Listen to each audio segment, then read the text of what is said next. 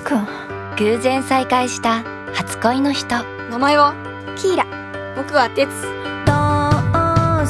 私ね食べる人みんなが元気になるような一流のパン職人になりたい。でも彼女には誰にも言えない秘密があった。ニンニクが苦手だし銀が苦手だし。でも十字架は平気だし変身したりもしない。彼女は人間と恋はできないヴァンパイア。キーラ本当に好きならヴァンパイアにしなきゃいけないんだよ。分かってるよ。でも今だけ。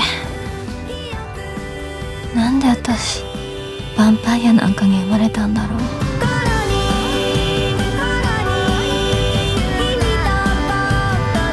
大好き。好きすぎて息ができなくなるくらい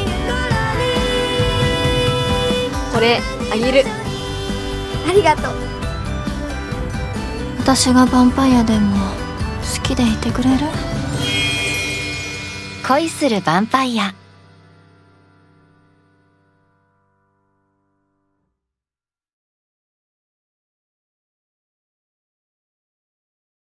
Hi, I'm Valerie. Now, ever since Boyhood debuted at the 2014 Sundance Film Festival, filmmaker Richard Linklater has said that he isn't interested in making a sequel. But during a recent interview, the director admitted he is warming up to the idea of a Boyhood 2.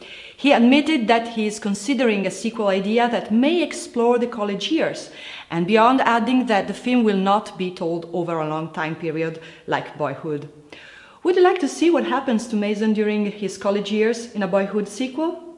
Let us know in the comments below. Keep it tuned to our channel for all the latest movie news.